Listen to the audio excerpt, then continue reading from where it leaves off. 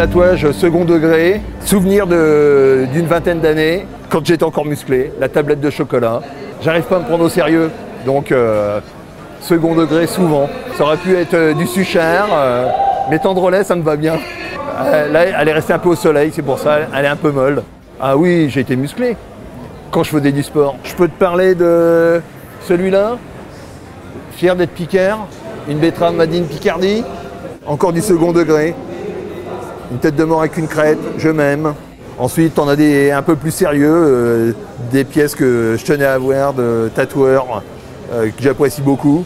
26 tatoueurs en 32 ans. On peut dire que je suis un collectionneur. Tu voulais voir qu'il était chouette celui-là?